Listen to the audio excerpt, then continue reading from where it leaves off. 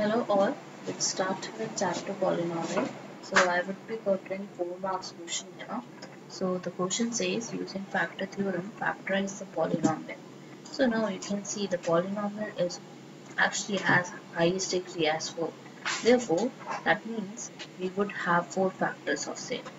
Now let's start with the hit and trial method here. So I would be taking x equal to 1 here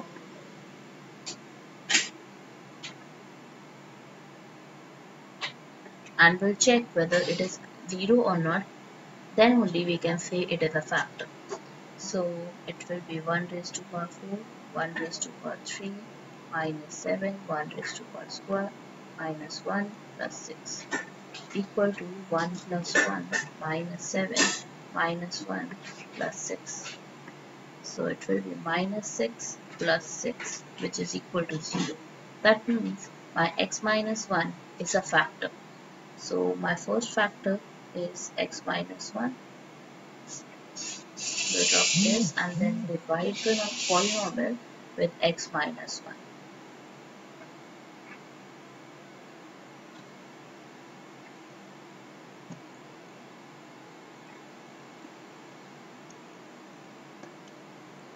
So now we need to make x as x4. So we'll be multiplying it with x cubed so x4 and the second term will be minus x. Now we need to change the signs. So it will be 2x cubed minus 7x squared minus x plus 6 now we need to make x as 2x cubed. So it will be 2x squared 2x cubed minus 2x squared minus plus. So it will be minus 7 plus 2 it will be minus 5x squared minus x plus 6. Now we need to make x as minus 5x squared. So I will be multiplying it with minus 5x.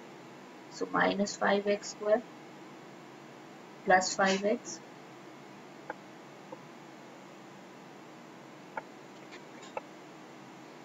now I would be changing sign here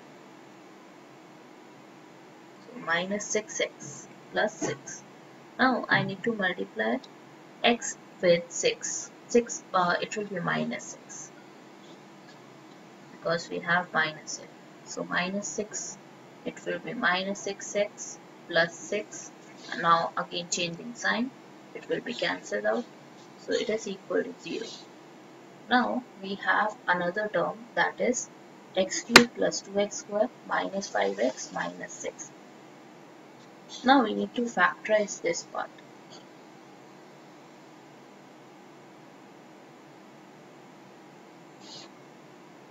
So let's factorize this again. So it is x cubed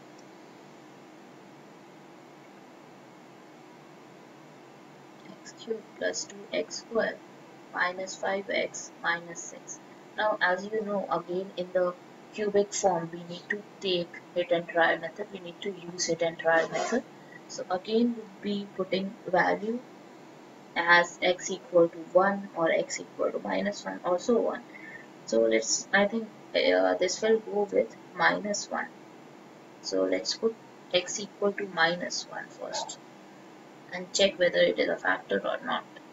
So it will be minus 1 cube plus 2 minus 1 squared minus 5 5 minus 1 minus 6 minus 1 plus 2 plus 5 minus 6 so the final answer would be minus 1 plus 2 is 1 minus 1 plus 2 is 1 1 plus 5 is 6 6 minus 6 is 0 that means x minus 1 is a factor.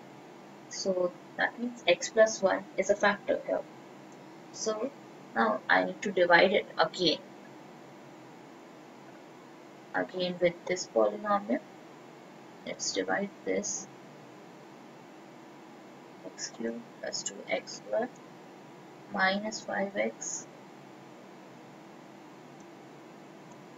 minus 6 dividing it with x plus 1 so x squared x cubed plus x squared.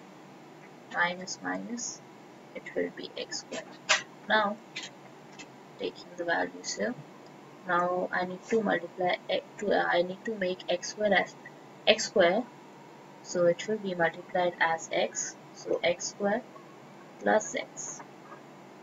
Change in signs again. So it will be minus 6x minus 6 now I need to multiply I need to make x as minus 6 so I need to multiply it with minus 6 so minus 6x minus 6 changing signs again. So we will get 0 now we need to we need to factorize it further x square plus x minus 6 so let's factorize this. This would be the last step. So as we have 6 here and as c so we need to take factors of 6 to make x. We need to split the middle term. So this will be written as 3x minus 2x minus 6 would be taking common x from first two terms. Would be taking minus 2 common from last two terms. So it will be x plus 3 x minus 2 and the last one was x plus 1 and the first one was x minus 1 so these are our four factors of this particular equation. So thank you for listening